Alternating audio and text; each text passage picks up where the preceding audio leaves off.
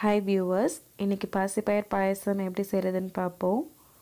பாசிப்பயரில் protein and fibre content நிறைய இருக்குது இதை வச்சு பாயசம் எப்படி செய்கிறதுன்னு பார்க்கலாம். இதுக்கு தேவையான பொருட்கள் பாசிப்பயறு நூறு கிராம் வெல்லம் அரை கப் ஏலக்காய் ஒன்று தண்ணீர் அரை கப் நெய் ஒரு தேக்கரண்டி தேங்காய் பால் ஒரு கப்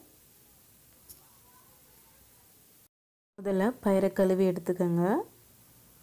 ஒரு பேனில் கழுவி வச்சுருக்க பயிரை அஞ்சு நிமிஷம் நல்லா வறுத்து எடுத்துக்கலாம். பயிரை வறுத்தோன்னா நல்லா வாசமாக இருக்கும். பாயசமும் நல்லா டேஸ்ட்டாக இருக்கும்.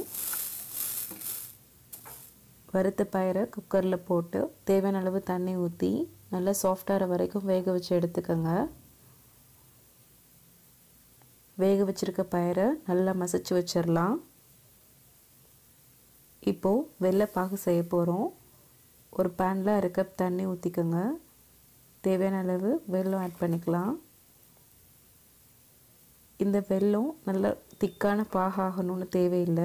ஒரு அஞ்சு நிமிஷம் கொதிச்சா போதும். ஒரு அஞ்சு நிமிஷம் நல்லா கொதிச்சிருச்சு. இப்போது வடிகட்டி எடுத்துக்குவோம்.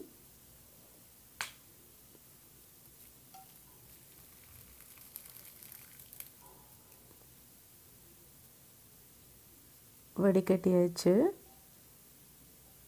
இப்போது ஒரு பேனில் வடிகட்டி வச்சுருக்க பாகை ஊற்றிடுங்க கொதி வந்ததும் வேக வச்சு மசிச்சு வச்சுருக்க பாசிப்பயிரையும் அதில் ஆட் பண்ணிடலாம் நல்லா மசிச்சு விட்டுருங்க.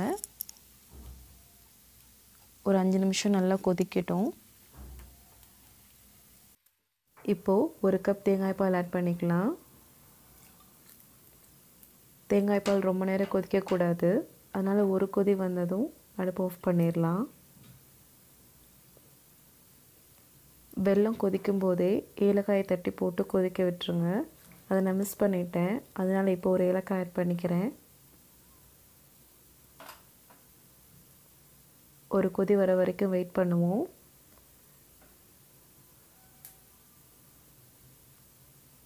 ஒரு கொதி வந்துருச்சு. இப்போ அடுப்பு ஆஃப் பண்ணிடலாம்.